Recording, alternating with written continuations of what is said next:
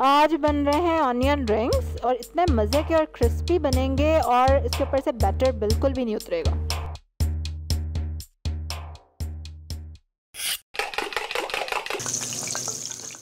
अस्सलाम वालेकुम to love to cook you can do it the best place for easy cooking ये है एक बड़ा प्याज उसके रिंग्स काट लिए हैं मैंने और ब्रेड क्रम्स हैं। और ये है आ, माया अरारोट पाउडर और ये है पेपरिका और ठंडा पानी और इसके साथ मैंने लिया है मैदा। ठीक है? अब मैदे में पेपरिका पाउडर डालूँगी मैं, माया डालूँगी अरारोट जिसको कहते हैं। और उसके बाद इसको ठंडे पानी से मैंने मिक्स कर लेना है। एक इसका पेस्ट सा बना लेना है, जिसको हम बाद में कोट कर सकें ऑनियंस पे। जो लोग पहली बार मेरी वीडियो देख रहे हैं तो मैं मज़े मज़े की इजी सी रेसिपीज़ बनाती हूँ। और डेली मेरी रेसिपी देखने के लिए ना सिर्फ़ आपको एक काम करना है गेट रेड सब्सक्राइब के बटन पे क्लिक करना है और बेल आइकन पे भी। चलें जी, अब बनेगा बैटर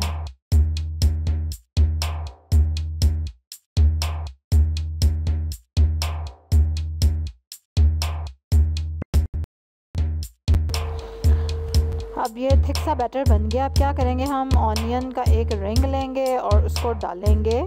बैटर में, ठीक है? और उसके बाद हम इसको डालेंगे क्रम्स में। वैसे तो मुश्किल ही है हाथ गंदे ना हो, मुझे लग रहा है हाथ तो गंदे करने ही पड़ेंगे आपको। खैर, इसको क्रम्स लगाएँगे और इसी तरह से एक एक रिंग प्रिपेयर करते जाएँगे हम और रखते जाएँगे और उसके बाद इनको करेंगे फ्राई ठीक है? ये देख रहे हैं आप, इस तरह से आपने साइड रिंग्स को बारी बारी कोट कर लेना है।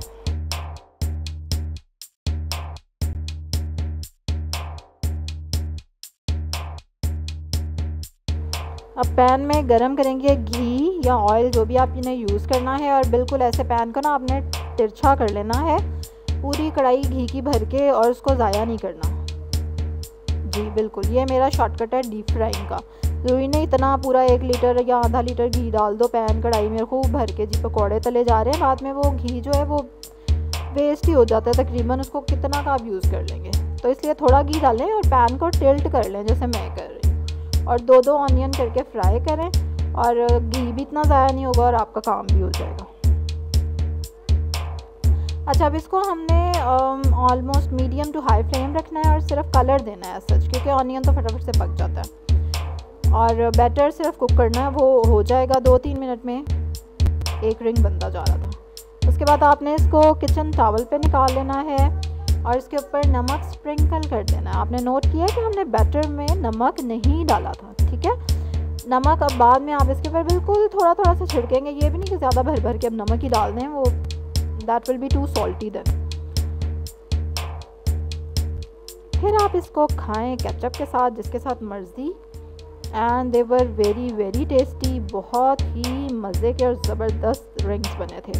And they are one of my favourite snacks इसी तरह की और वीडियोस देखने के लिए आपको सब्सक्राइब करना पड़ेगा मेरे चैनल को। बेल आइकन पे क्लिक करेंगे तो फटाफट से टाइमो क्या उसको कहते हैं? टाइम और टाइम मेरी रेसिपी आपको मिल जाएगी। कल एक और रेसिपी के साथ मुलाकात होगी आपसे। अल्लाह हाफ़